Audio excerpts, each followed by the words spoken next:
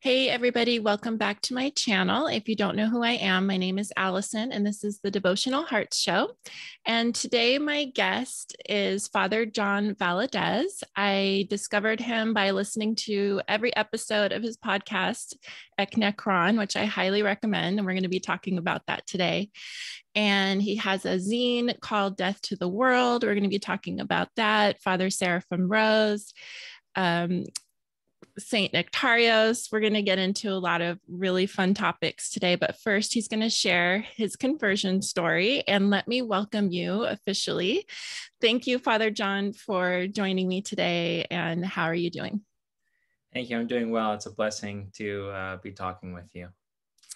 Well, let's get right into your story of how you became, first of all, an Orthodox Christian and then um, priest. Okay. Well, um, I was uh, not raised in any kind of Christian household. Um, my parents, I, I, had I had two different homes my, because my parents were separated, um, but I didn't really have an, uh, a Christian upbringing at any any of those homes. Um, I do remember a little bit my mom bringing me to some different Protestant churches here and there, but it's very spotty. There was nothing, no prayers at the table. There was no like consistent Christian upbringing or anything like that. Um, didn't really know really what scripture was. Um, sometimes we went like on Christmas or Easter. So I guess, you know, in the 90s, I guess that was a little bit typical um, still in some cases to have a somewhat kind of Christian upbringing um, in that sort of sense um, in America, um, but nothing consistent. Um, until I um, got into middle school, I made friends with a, a, group that was already going to a Protestant youth group, and it was at a at a Methodist church, and it wasn't a very uh, traditional youth group, but I, I, I guess like traditional Methodist youth group. It was more like an evangelical Protestant youth group um, with a rock band and all that kind of stuff. Um, so that's when I got really involved in Christian life and learning a little bit about Christianity and things like that. And um, when I got into high school, I was already attracted because of some of the friends that I had outside of the youth group, attracted to uh, loud and hard music, uh, rock and roll and punk rock and hardcore music. And um, I made friends with a, a group of uh, punk rock kids uh, that were kind of the outcasts um, in, in, high school. And one or two of them were involved in a Christian punk rock scene. There's a Protestant punk rock scene in uh, Southern California and started to invite me to shows and stuff like that. And it, and that was um, that was really where I found a lot of inspiration as a Christian. That's what really became uh, my community and my church um, in many ways. Um, almost every weekend we went to shows either at a church that that um, hosted them or at some kind of uh, underground venue and um, we would go and it'd be like a typical punk rock show um, with a mosh pit and crazy hair and all that kind of stuff and um, but with christian lyrics hmm. and then at the end of uh, the that and at the end of the concerts they would break out their acoustic guitars and play um, protestant worship songs mm. and um, so that was our that was kind of our that was really our church um, and we found a lot of meaning in it. And i think a lot of us came from really you know either broken homes or backgrounds um, with a lot of hard things that we were going through. And most of us were teenagers and young adults. And um, so we we wanted a christianity that was not of this world. Um, we felt i think like the protestant dream and um, the materialistic life had failed us and failed our families. And uh, Protestantism, um, it seemed, was soaking up that kind of uh, ethos. And so we wanted something that was real and had um, um, a rebellion against this world and um, has had the fervent uh, life that the apostles led and that kind of a thing. And a lot of these bands preached that. You know, they preached to be against this world. They uh, they preached against the influence the world has upon us. Um, they preached against materialism. They preached against the corruption of the government and media and um, all that kind of stuff that can po- poison the soul. Mm-hmm. And so it was really attractive. Um, and it really became a, a, a, huge part of my life and a pillar in my life. I don't know if I would have stayed a Christian through high school uh, without without that scene. Mm. But eventually, you know, as I got uh, my probably my junior senior year in high school, the the scene really started dwindling. Mm-hmm. Um, a lot of the bands moved away um, or broke up, and shows weren't happening as often. And so, a lot of the a lot of the community at that time was trying to find a a, a venue or or or you know something to retain this community. And so we we did a lot of different things that we tried. We we tried other kinds of shows. We tried to um, have a Bible study at the beach at a bonfire, you know, once a month, um, things like that. Um, we tried as much as we can to keep the community together. But I think the real big thing that, or the yeah, the real big thing that we all found um, that kept us together together was um, a Bible study at a tattoo parlor um, where Father Tur- now Father Turbo uh, was the tattoo artist, and he hosted a Bible study for all of us um, before we converted. And um, a lot of the kids from this punk rock scene found their home um, at this Bible study. Um, we met every Monday night. We um, studied scripture from when the tattoo parlor closed at about 10 or 11 at night and then sometimes stayed up talking and conversing about various things that either were going on in the world or that we found interesting in scripture or whatever it may be, um, sometimes until the sun came up the next day. Um, and so that became the substitute of this punk rock scene. And I think took it a step further and one and and pushed a lot of us to search deeper into our Christian life and Father, may I ask you a question? Mm-hmm. Father Turbo wasn't yet Orthodox.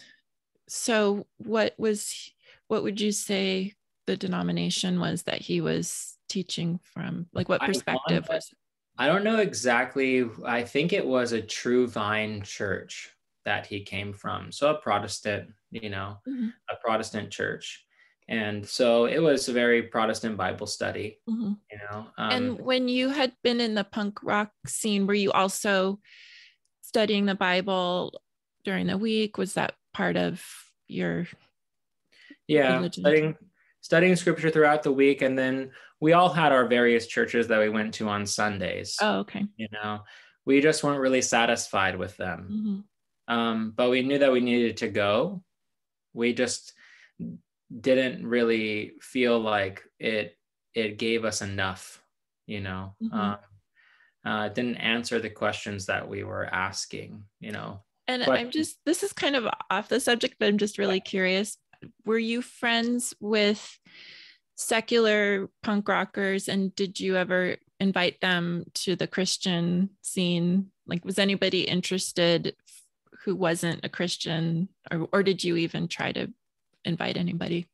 Yeah, definitely. Um, a lot of the kids that we hung out at school in our group were were secular um, uh, punk rockers that went to different shows, and I went to different shows too. I didn't just go to the Christian shows, but I did go to the Christian shows the mostly. Um, later, when the scene started to kind of dwindle and fall apart, some of the bands that that only played with Christian bands, you know, had to start playing with other secular bands and stuff like that. So at the end, we did have a lot of shows that were like intermingled, you know, mixed together.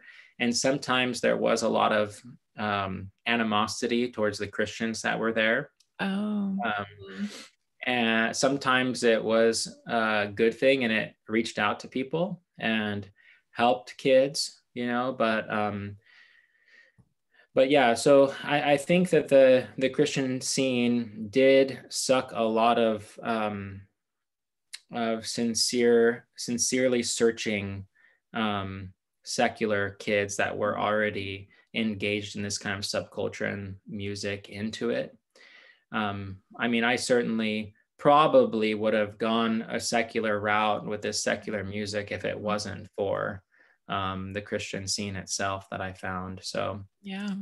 So yeah, it was it, it was something that I think a lot of us took for granted, and you look back on it now and see that God really was using it to inspire um, a lot of us. Mm.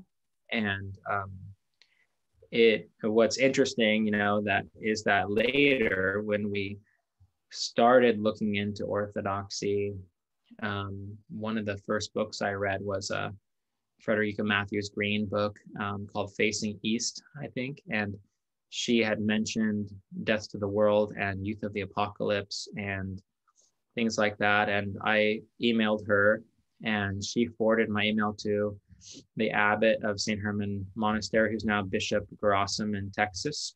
Hmm. He was the abbot there at the time. And he sent me a box full of Death to the World uh, magazines, old ones from the 90s, and um, Youth of the Apocalypse books.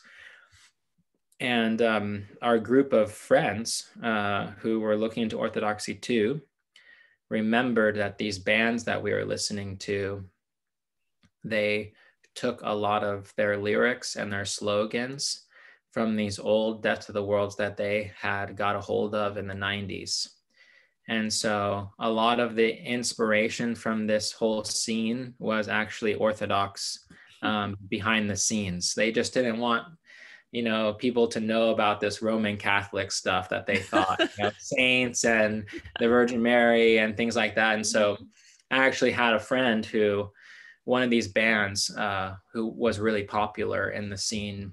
Um, now they actually got back together and are playing again, which is interesting. But when they moved out of Southern California, they left him this file cabinet full of uh, lyrics and all kinds of stuff that they were using. And in that file cabinet was a bunch of Death to the World magazines with highlights in them of lyrics that they had taken from and one of the Youth the Apocalypse, uh, in uh, one of the chapters of the Youth the Apocalypse is like word for word at the beginning of the chapter is one of these songs, you know, mm. that.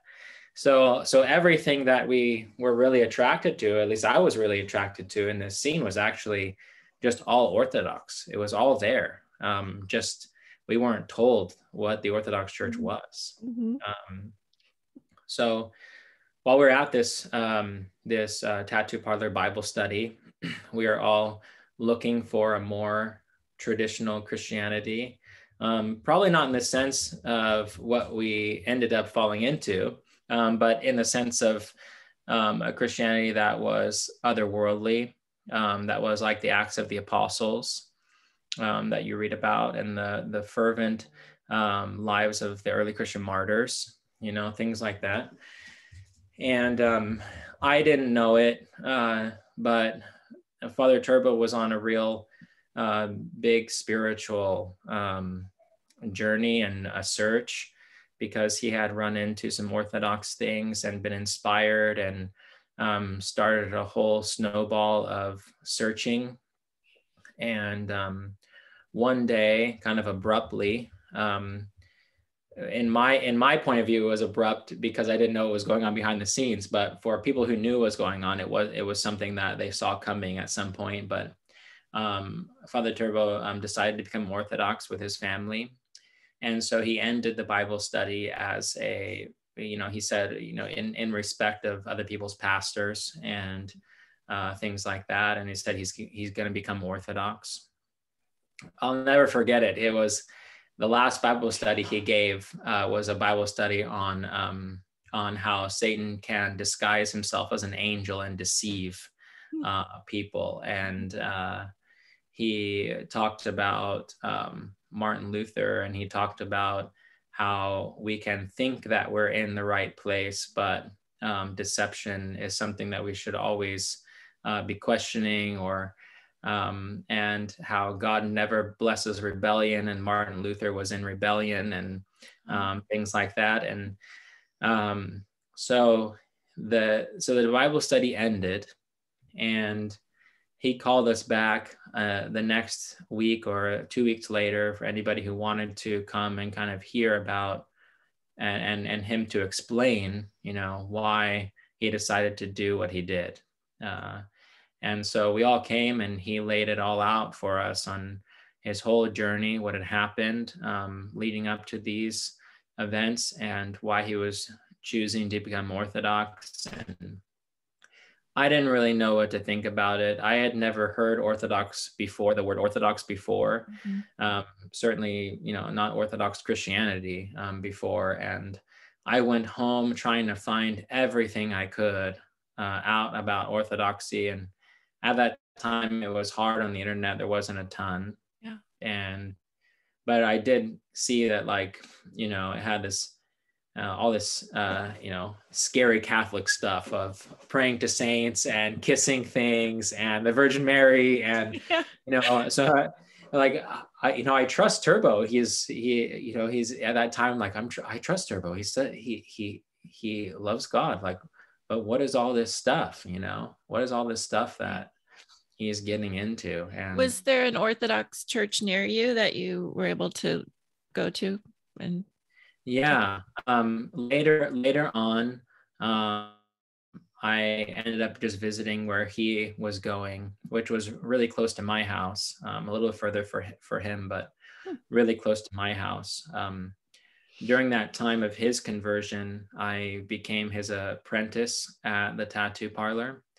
And um, I started doing that right before he ended the Bible study and gave this whole announcement, you know. Hmm. So I didn't know what I was getting myself into, um, becoming his apprentice, and um, we, um, but we, we um, talked about orthodoxy. We talked about um, things that were going on in the world um, during the time of my apprenticeship, and I really started searching uh, for it a lot. And that's when I ran into that book by Frederica. Uh, I went to like the local library and found like the Orthodox section that was like this big, yeah. like five books. so I checked out like half of them, you know, and tried to figure out what was going on. And mm-hmm. um, but once I got the Death of the World magazines, and once that all came to light, that everything that had inspired me uh, before and kept me Christian really yeah. uh, was all Orthodox stuff. Mm-hmm. Um, then that really um, was the huge turning point for me. Mm. Um, and uh, I was in communication with uh, with Bishop Gerasim, who, like I said, was the abbot at that time, just Father Gerasim up there, and he directed me to go to a parish, which was the same parish Turbo was going to, uh, Father Turbo was going to, and um, you know, when I first went, you know, a lot of people say I don't know. I don't know how your um, experience was in walking into a liturgy, but um, a lot of people will say, you know, when I went to liturgy for the first time, I felt like I was at home, yeah. you know, or I felt like I was inspired, and that really wasn't my um, experience. Oh, um, hmm. I I actually was n- not really. I actually um, didn't really feel like this is something that I liked. Hmm. Um, but at the same time, I knew that it was the truth mm. by that mm. time.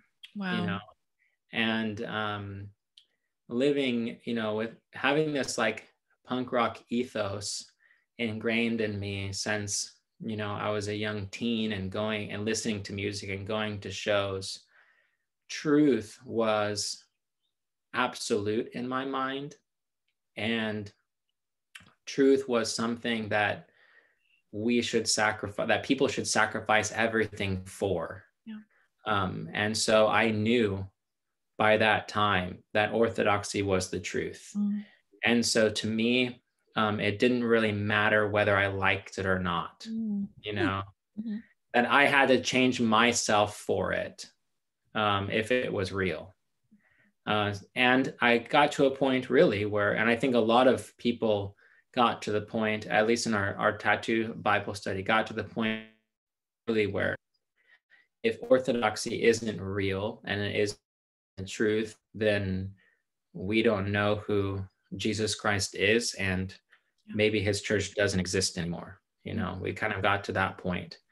So disillusioned with Protestantism and uncovering all this history um, that we uncovered, there was just no going back. If orthodoxy wasn't it, then we didn't know what we were going to do with our faith anymore. Um, and a lot of people, uh, the the tattoo parlor, you know, I think Father Turbo would say the same thing. The tattoo parlor Bible study was uh, a, a, real big uh, make it or break it for for a lot of people. Um, uh, about 30 people came in and were baptized with us um, mm. at a tattoo shop, wow. and about 25 the next year. Um, and then people trickled in after that. Um, but people who didn't choose to be Orthodox or ended up leaving Orthodoxy shortly after because they weren't really ready for the spiritual seriousness I think that that it requires. Um, you know, it, a lot of them lost their faith or went a different, a totally different way. Um, so it was really a make it or break it for a lot of us. Um, but that's how I became Orthodox. I, I Father Tur- Father Turbo. It's all Father Turbo's fault, basically. For anyone new to my channel, I just want to remind everybody, everybody who's watching, that we, I have an interview with Father Turbo. It's currently my featured interview on my channel. It was. I saw that. Yeah, it was from um, February, I want to say something like that. But um, it's one of the best episodes of yeah. my whole show. So I encourage everybody to watch it or rewatch it if you've already watched it. so how so from the time you were baptized till you realized you wanted to be a priest, how long was that and how how did that come about that you knew you wanted to serve as a priest? It, it was a little over um, 10 years. Oh. So so I was received um, in 2000, 2006. Yeah, 2006 um, on Lazarus Saturday uh, with Father Turbo. Um, and um, this I was I was I, I had just turned 20. Um, so I became a catechumen at around at 18, almost 19. And um, so during that time of the catechumenate, um, I was visiting the monastery very often, um, Platina, the monastery in Platina, very often. And we were getting Death of the World magazines and we were um, copying them, printing them, and um, giving them out at different punk rock shows. Um, and we wanted the monks to to um, maybe put out new issues, you know, and the the monks they didn't really have the time um, to to work on it. So they gave us a blessing after we were baptized to start compiling issues and then sending them to the monks to be proofread. And then we'd print them and hand them out. Mm.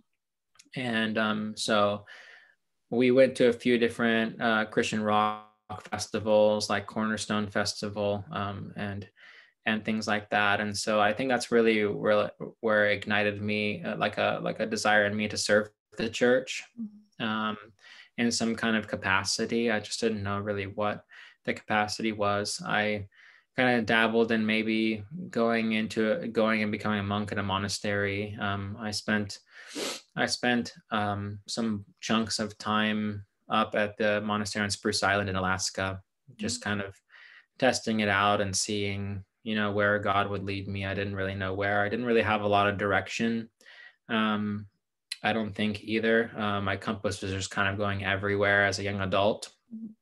Um, and uh, especially without any christian foundation while i was a kid you know? So i think i was really on training wheels trying to learn uh, what what exactly to do and um, with my life and um, in about 2000 and um, in 2011, 2010, um, I met my I met my now who is my wife, Presbytera Christina, and uh, we got married a few years later. And uh, what, but I was thinking at that time, like maybe I should, maybe I can go into the priesthood, or maybe I should could go into the clergy or serve the church in that in some kind of way. Um, I was working different jobs, but none of them were really satisfying. um, and she told me, um, if you want to, if you want to, um, you know, become a priest, maybe.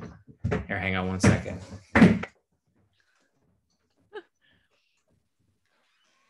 Okay.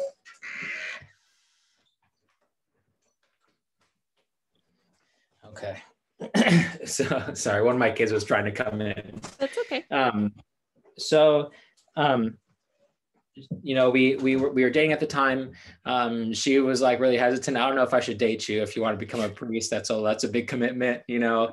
Um, uh, but then uh, after a few years uh, of thinking about it, we we um, decided to ask our spiritual father what we should do and um, if it would be a good idea. And um, so in 2015, we I think it was 2015 um, we started really seriously thinking about it and uh, putting in our our um, applications and stuff. And uh, the diocese, the archdiocese, uh, I'm in the Antiochian archdiocese. They they sent us over to St. Vladimir Seminary, and um, we we did our our sentence there, I guess, for three years, and then uh, then we're put, you know, then we were put here in Lompoc uh, which became our first our first um, parish that we were assigned to. So I would love to talk a little bit more about spiritual discernment. That was something we touched on a little bit earlier, and rebelliousness. And what are some things you can share for my audience about that? Um, well, you know, I I I think I had to learn a lot when I became Orthodox because my whole outlook on the world was an outlook of rebellion. Mm-hmm.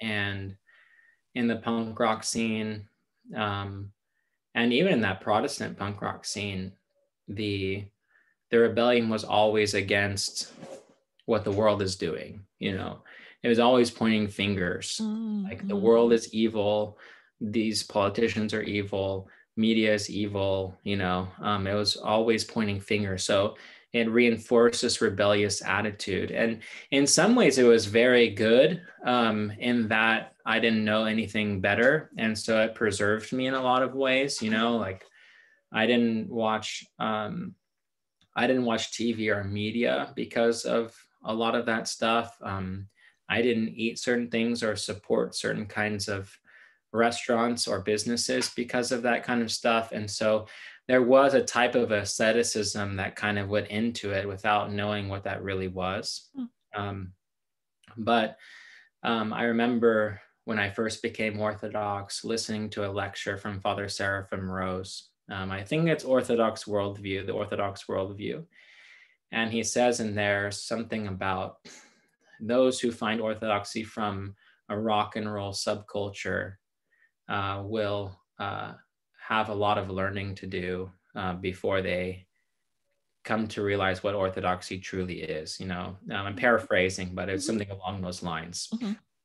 And at first, listening to that, I was like, oh, maybe he doesn't really know what, you know, like, you know, what it really is, or, you know, um, but later, now looking back, um, he is a hundred, he was a hundred percent dead on right. Mm. Because what I had to learn was that, and what I had to discern was that um, the rebellion really isn't so much on the outside.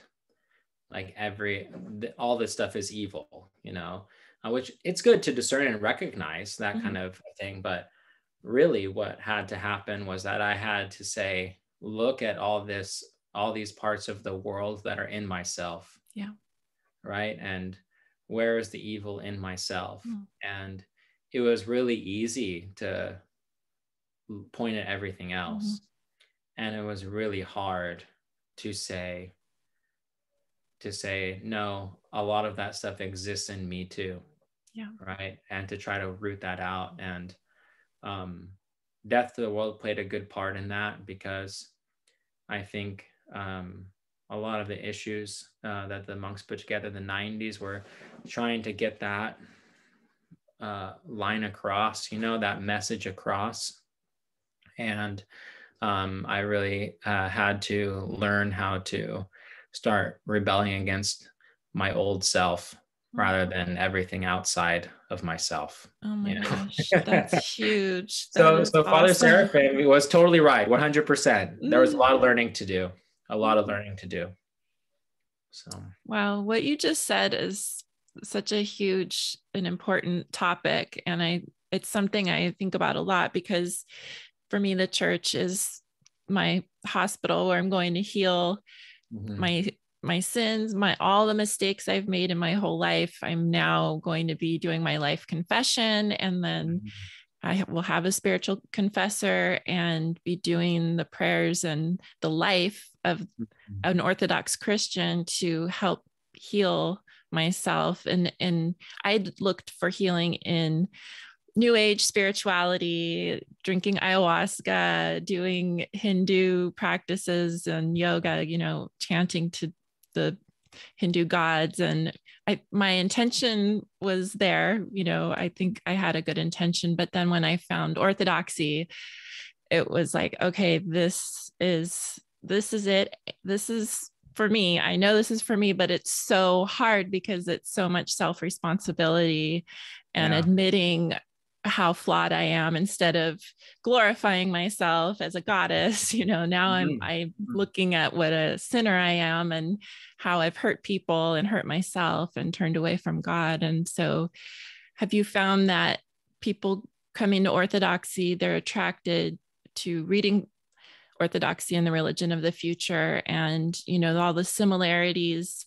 from some of the new age things like the mysticism is really attractive the the visual beauty of the church and our liturgies and things. But when it comes down to the work, the ascetic life, and really not just repenting, but really making a commitment not to continue sinning and being discerning of the logism and all mm-hmm. the work that it takes. Have you found that it, it can be really hard because it is it's hard it's a harder path than anything yeah. i've ever done because everything i did before was just what felt good and what was fun and was pretty and was easy and this path is a lot of work so right.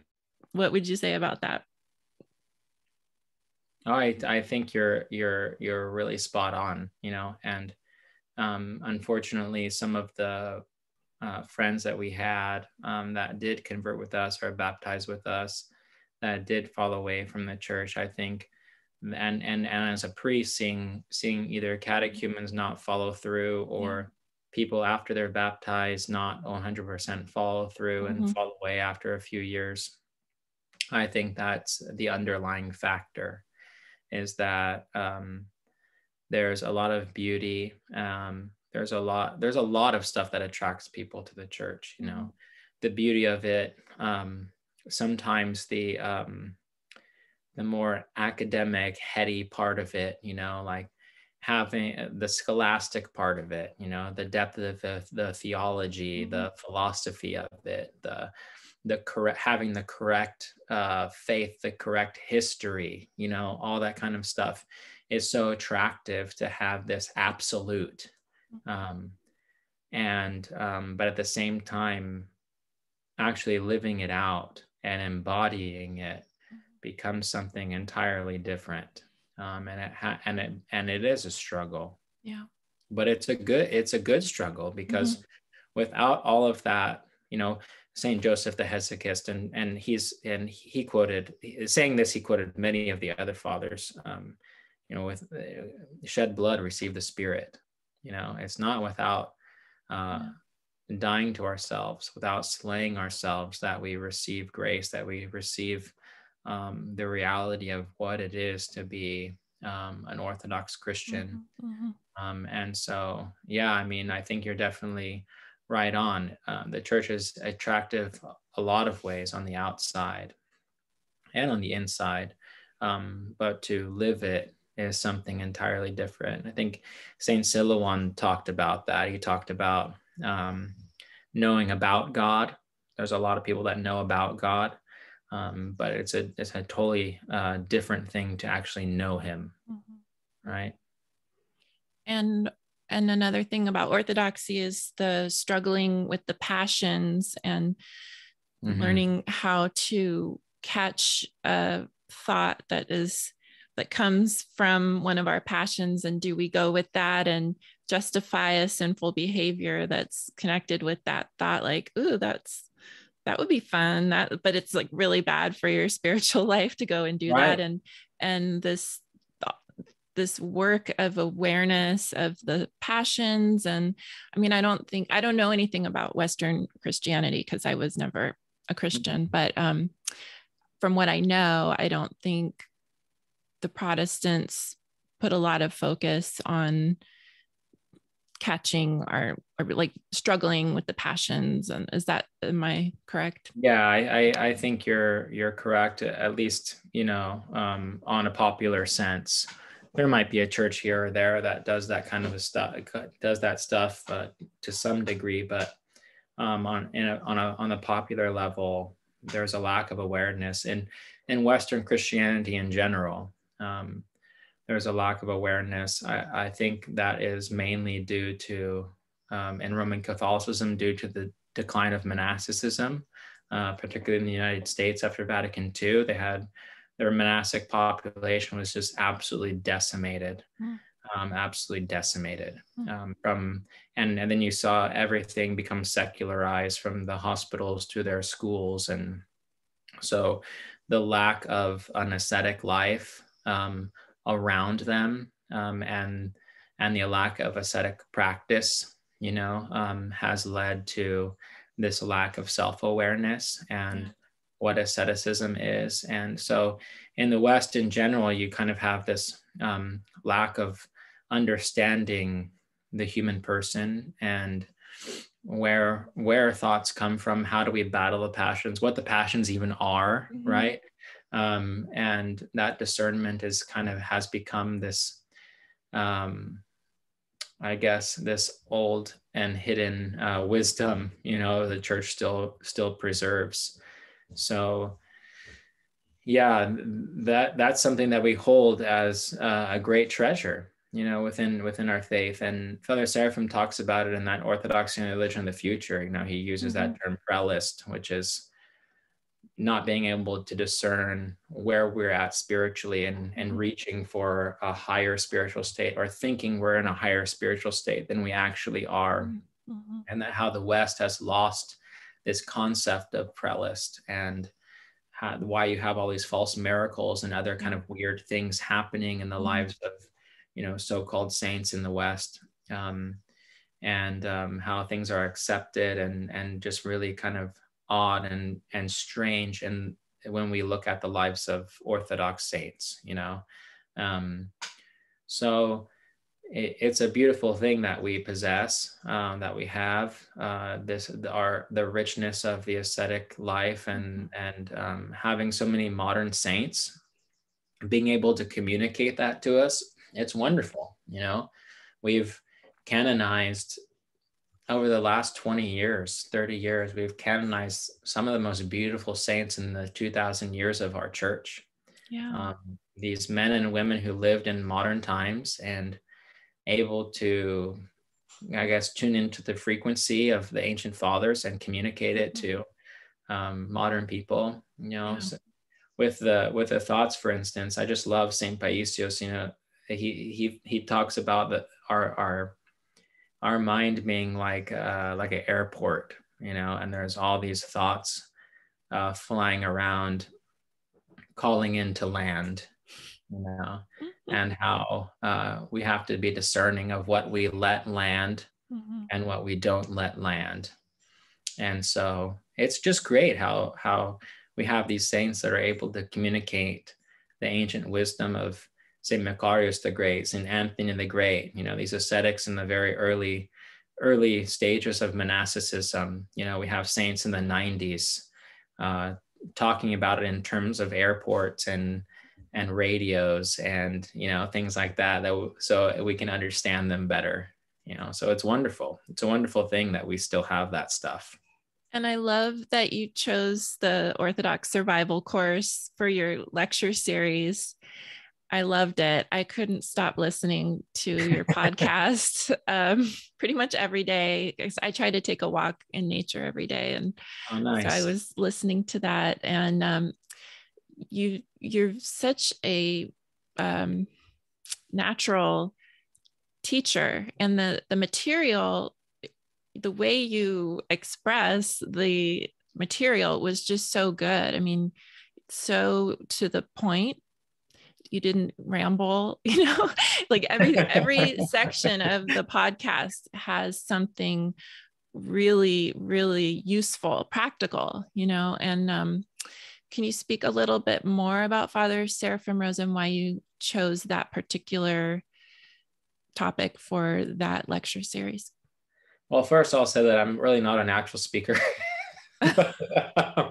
um, I was I was ordained a deacon on the on the feast of Saint John Chrysostom, and my you know the bishop told me you know you really need to work on your homilies and teaching. That's what you're going to be doing, you know. And so whenever something comes out good, I just attribute it to Saint John Chrysostom's help. You know, the golden mouth gave me just a oh. little bit of wisdom to to, to bring out, you know.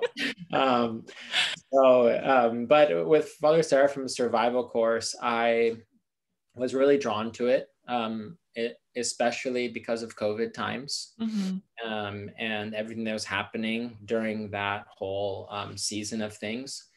And um, he, I think it's a really, really valuable work that many uh, Christians, especially in the West and America, should be aware of. Um, he traces the downfall and the decline of Western society mm-hmm. from the time of the schism um, until um, until the the 70s, 80s when he li- when he was living. And um, he goes through all different kinds of philosophical movements, um, political movements. Um, he goes through, um, you know, the different uh, cults that that happened and sprung up around uh, these different movements, and also the um, um, you know the different like the UFO phenomenons and scientific the mm-hmm. rise of scientism and things like that um, in the 50s, 60s, 70s, and it it really takes history and it puts it in a spiritual perspective. Yeah.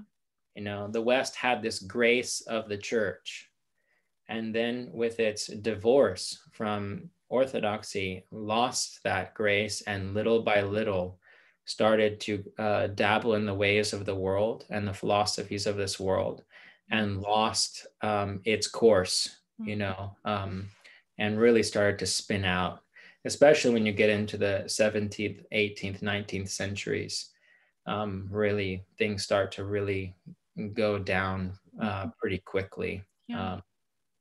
And so he does a good job at giving us as Westerners aware, an awareness of our roots and what happened to us and why we find ourselves in where where we're at now. You know it's not like some accident out of nowhere you know the world is just in complete chaos. You know this there's this huge spiritual component that has been working in the world and you know, Father Seraphim, you know, one of his quotes that I think is really good and also brings a lot of, a lot of um, sobriety, especially if we think Christianity should have its home in this world, is that, you know, he said that um, at the time of Christ, the world could not accept him.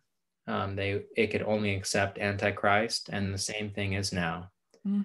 You know, if Christ appeared now, they would crucify him just as they did before. Yeah and it only can ex- accept antichrist.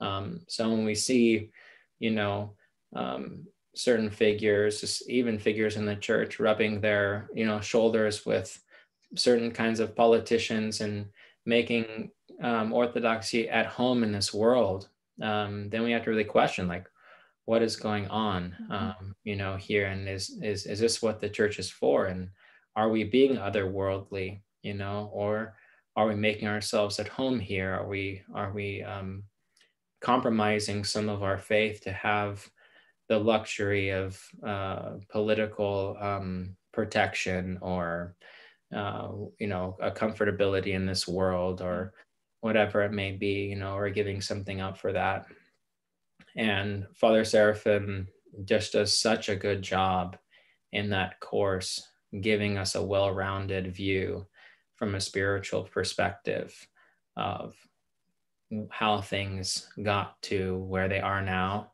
um, putting us face to face with who we truly are as Western people and as modern Americans, and um, what the what the true you know way to turn all of this around and and the true way to you know realize who who we truly should become and who we are created to be and that's by becoming an orthodox christian right and to practice um, the faith and um, to to study the lives of these um, holy ascetics and and saints um, of our time and times of the past, you know, that have dealt with the world when it was in chaos and as it's going into chaos. So, so that's why I was really attracted to him, um, and mm-hmm. well, it's particularly that work in general. You know, he is such a phenomenal figure. Uh, Truly, especially yeah. anybody who's like raised in in America, and particularly anybody raised in Southern California. You know, um, he only he was born, you know, not very far from where I grew up as a kid, and not very far. He went to college, not very far from where where I went to high school, and um, even though they're totally different time periods, um, it's still like you have this sense of, um, you know, uh, being um, somewhat able to understand what he went through his whole yeah. life because you you're familiar with it. Yeah. I really what one of the first orthodox books I read was Orthodoxy and the Religion of the Future and I think it's so for a lot of my audience as well mm-hmm. and we were from myself at least I was searching as I said earlier with mm-hmm. through Hindu you know all the different religions except for Christianity. You know, I didn't read the Bible, mm-hmm. but I was interested in Tibetan Buddhism, Zen Buddhism, Hinduism, and all those things. And so he studied with Alan Watts, I think, too, right, in San Francisco. Yeah. And I'm familiar, pretty familiar with Alan Watts. And um, so, yeah, I think he's one of our generation's favorite Orthodox writers. Yeah. And then yeah. um, Saint Nektarios has become very well known with this movie that just came out for the new people like myself. I didn't know anything about him yeah. until I learned about him from your podcast and then I saw Man of God. So, can you tell us a little bit about him and why you talk about him on your podcast? Yeah. Um, I I really love St. Nektarios um, just within the past few years, um, especially as a priest. Um, I've really grown to have a great relationship uh, with him. Uh, particularly, there was a, um, a, an older gentleman who had cancer in our parish mm. in his neck, and we um, I don't know if you know, but in in, in Southern California, we have the largest relic of St. Nektarios outside of Greece. Oh, no, I didn't know that.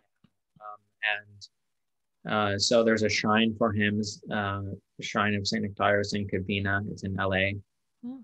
And uh, they, they give little vials of oil that burn in the lamp um, in front of uh, that relic and give them out to people. And so um, we got a or I got some oil from that and gave it to him. And he anointed himself all every day. Um, and he went through the different radiation therapies and stuff, but his cancer went away very quickly and it hasn't come back yet. And oh, praise God. And he really attributes that to St. Nektarios and the way that um, it had disappeared and and things like that and hasn't come back. And so I really, you know, uh, especially after that incident, really started looking into his life more. And, you know, I didn't, I actually didn't know much about him when I was, when I, when I became Orthodox and when I was first Orthodox. And my, my son, my oldest son, Maximus, was actually born on his feast day. Oh, wow. Um, cool. Yeah, in November.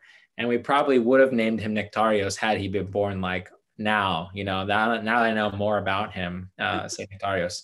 So, you know, he's he's um, he's he's been great to our family in, in that sense too. You know, having that familiarity with our son being born his feast. Um, but within the past year or two, there have been a good amount of translations that have come out from his works. Mm-hmm. Uh, New Rome Press puts has a few books um, from him out, and um, you know, one is called Habitation to Holiness. That's um, a good swath of his writings, um, and uh, you know, he teaches on what the church is, what the priesthood is, and um, things like that in that book. Um, Saint Nektarios Monastery in in New York, in northern New York. Uh, he they, they they put out uh, uh, one on confession and a few other things like on evolutionism. I think there's one like that from them and a few others um, from him, like small pamphlet ones. But um, there's another press that um, my friend Joseph Calendario, he helped translate some of his other works on like morals and ethics and things like that. So a lot like within the past two or three years has come out from him hmm. um, that we can read now in English. And I think that he is such a great figure because not only is he a great teacher, and God knows we need all the great teachers we can uh, have, um, he he was combating a lot of things during his day, you know. And as you saw in the movie, the very obvious one is that he was persecuted and slandered, and from you know all his, his entire life and it followed him these lies followed him entire his entire life so many friends turned their backs on him mm-hmm. um, he was put through such um, a crucible with all this all this stuff that happened around him and to him in his life and he took everything with with uh, with patience and with grace and rarely ever did he stand up for himself um, took everything as God's will. He never threw things back into people's faces. He never tried to justify his name. Mostly it was people who loved him and knew who he truly was, or who, yeah, who he truly was, um, are the people who who who stood up for him, you know, um, and and cleared his name later. But um, even even after his death, he the I, I, was told this by the priest over there uh, at the shrine because um, after we did that lecture series on St. Nektarios, we we took a pilgrimage to the parish and we went over to the shrine. And uh, the priest was telling me that even at, at his death on his deathbed and after his death, the church the churches of the city wouldn't even open their doors for him to be to have a funeral. And so he was buried kind of in this humble way outside of the city um, then, of course, his relics later, when they exhumed them to bring them to the monastery, were found to be incorrupt and fragrant. And um, so he's such a wonderful and beautiful um, saint. He also, you know, during that time, there were so many Protestant missionaries coming into Greece, and um, um, you know, they, they were they were spreading, of course, um, false doctrine and uh, leading the faithful astray and tempting them with um, certain kinds of ideas. Mm-hmm. And so he also wrote so many things um, against Protestantism and uh, trying to turn around at, at, his time there was kind of a poor catechism not only just among amongst the clergy but especially amongst the laity mm. and so he took very hard theological concepts and he put them into uh, i think simple simple words that people could understand yeah. and um, he wasn't a person that was um, you know um, that distanced himself from the people um, as you as as you saw in the movie man of god you know he's very much uh, a man of the people right and a true shepherd that moves among his flock and mm-hmm. so there's just so many things about his life that are wonderful and awe-inspiring and become great examples for us today. Yeah, that's awesome.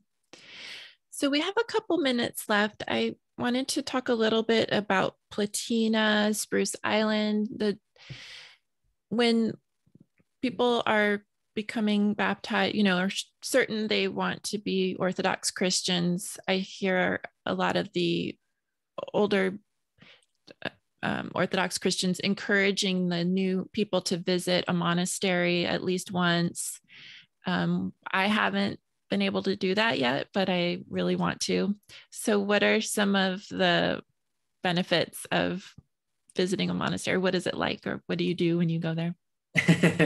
I I think that um, it's absolutely um, important. You know, it's it's one of the things that we should absolutely do as Orthodox Christians to make regular pilgrimages uh, to monasteries, mm. um, because there we see a uh, the the real uh, a real fervency for the gospel and for orthodoxy lived out mm. um, in a way that we don't see it typically in the parish um, and this kind of um, relationship between the parish life and the monastery has always been uh, sometimes it, it it has created tension other times you know it has not created tension but it's a great um, a healthy uh, way in which we see um, how uh, the faith can be lived out to a the very farthest extent that it can you know and embodied in a community um, in a way that we don't typically see every day. You know, it it um, the monasteries uh, it, in the beginning, ever since the beginning, they became the monks became the living martyrs. You know, so when martyrdom stopped um, in the Roman Empire, you had um, Christianity become a little bit more comfortable in this world, right? We were able to build churches uh, and go and worship in the open um, and uh, even later you know the the christians taking political offices and emperors being christians. And um, so orthodoxy became very um, at home i guess in this world. Not necessarily always in a bad way but um, that fervency of the martyrs and the uh, knowledge that if you went to church you might be arrested and tortured you know, for going. Um, all that stuff kind of uh, started to to um, evaporate, and so the ascetics, the the men and the women that went out into these deserts and founded these communities, you know, they they didn't actually go out into the wilderness to live a more quiet life. Um, they didn't actually uproot themselves to go out there and say, you know, oh, it's peaceful in, in nature and I don't have to be in the city and um, I can pray to God more out here and that kind of a thing. Um, the desert back then was typically viewed as the place where the demons dwelt yeah. and where the unknown was. Mm-hmm. And so St. Anthony and St. Macarius the Great, St. Pachomius, all these wonderful ascetics and desert fathers and mothers went out is went out uh, with a mission to conquer the devil mm-hmm. and to conquer the passions and to take everything like head on to the extreme and so they became these living uh, martyrs this example of a really extreme and um, fervent faith right and because they did that and because they conquered their passions now they're filled with the grace of god and able to give that grace to other people and to help them to live um, their own life, right? And so uh, the, that's what the monastery, that's why they're such a treasure, is because they still preserve that kind of an attitude. And so wonderful, there's so many wonderful monasteries that we have um, in America. And you know, we visit very often, my family and I, and people from our parish, we visit um, Life Giving Spring. It's a convent in Dunlap, California. And um, the eldress, uh, Gerontissa uh, Markella, who's there, um, she's, she's a living saint. She really is a living saint. And um, it's wonderful to see a glimpse of what sainthood looks like, you know, and what the faith looks like lived out um, in simplicity and in love and um, able to kind of soak some of that up, right? And take it with us back to the parish and um, go when we need to draw that water again, you know? Amazing. Yeah. So to close, something you said earlier really struck me, and I wondered if you could just give my audience some guidance on this. You said that we should be stri- we should be striving and sacrificing for truth in our lives. So, mm. what does that look like, and how can we do that? Um, well, I think you know one of Father Seraphim's um, another uh, you know Father Seraphim quote is that he you know when when he realized that truth is a person right who is christ that's when he really found home mm-hmm. uh, and so when we sacrifice for what is truth we sacrifice for a person not like an mm-hmm. idea mm-hmm. not, not some kind of philosophy right we sacrifice for a person who is christ christ is the truth and so everything that we might stand for um, any kind of ideologies that we might hold. Um, all of that, especially when we come into the church, has to be crucified so that we can, uh, so that it can be resurrected with Christ, who is truth. Wow. And so, Father Seraphim, he he talked about how he had to do the same thing. I mean, you've you've read parts of his life, you know you know what kind of a person he was he was absolutely brilliant yeah. um, absolutely brilliant right? And just reading things in in their original language he was just absolutely you know 100% looking for and searching for what was real. And um, he needed he he he needed to crucify his mind he said mm. in order for it to be reborn um, in the light of Christ, in the light of living truth, and in the light of um, of all the saints that had gone before him. You know, so this world will always, you know, offer us uh, all kinds of um, various ideologies and religions and uh, ways to believe and um, all sorts of uh, of different things that can be really uh, can look really appetizing and um, in the end they they really just all give us death you mm-hmm. know? They don't give us anything that it that goes beyond what is transient. And so christ is the only one who rose from the dead right? He's the only one who who um, is a, a god that um, came to dwell among his people, to touch his creation, to bend down low and to walk amidst the people that he loved, uh, that he loves, that he wanted to save and does save. So Christ is the the absolute truth and the life, and uh, everything that we sacrifice for truth is uh, a sacrifice for Christ. Mm. And so we talked about your podcast, which I will link in the description, and the website where people can buy Death to the World magazine. And then you also have a website where you post blog articles, correct? Yeah, there's a well, there's the Death to the World site, which has um, blog stuff on it. Um, we also have an Instagram. We have a Facebook, but I'm not really on Facebook. It just mm-hmm. posts from my Instagram. Um, and then we just started a Patreon page.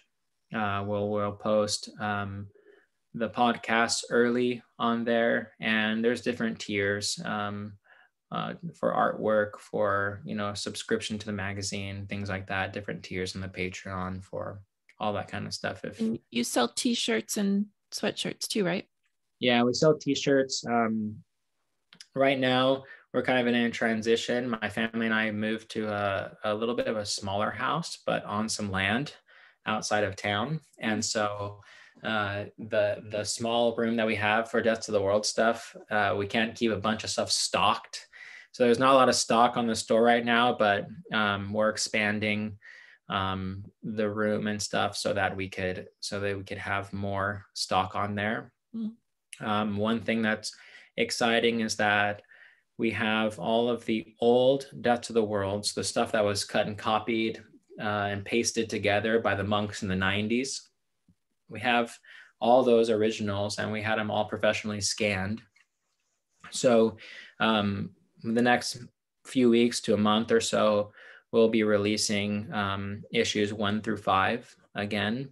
Um, they haven't seen the light of day in their physical form in quite some time, wow. probably like 15 years, um, maybe a little less than that, but um, it, it's exciting. So we'll have yeah. those up for people to to get and and keep those in stock. And we're going to work on getting five through 10, and then 10, then 11 through or, or six through 10, and then 11 through 15, and and have all of the old stuff um, available again. So that's really exciting. Yeah, that's awesome. Well, thank you, Father John. This has been so much fun. I learned so much from you, and I just really appreciate all the work you're doing. And I'm always looking for the next Ek Nekron episode to come out. Thank God. Thank you so much. Yeah, they're it's wonderful because they they are um, kind of they're recordings really of our ongoing catechism at our parish.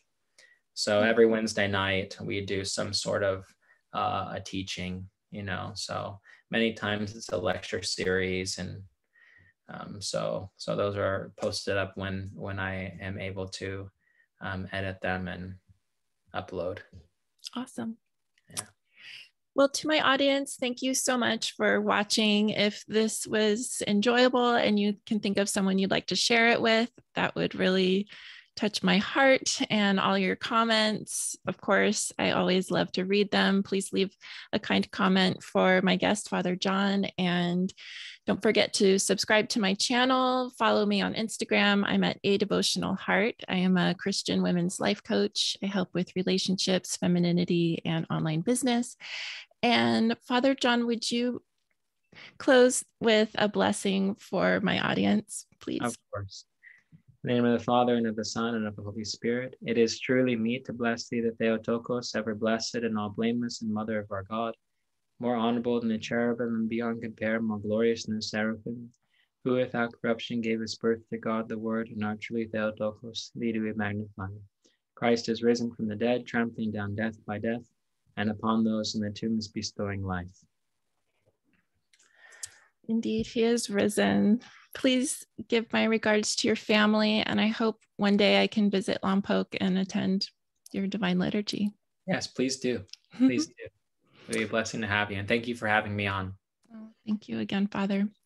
All right, everybody. Thank you for watching, and I will see you next time. God bless you. Bye.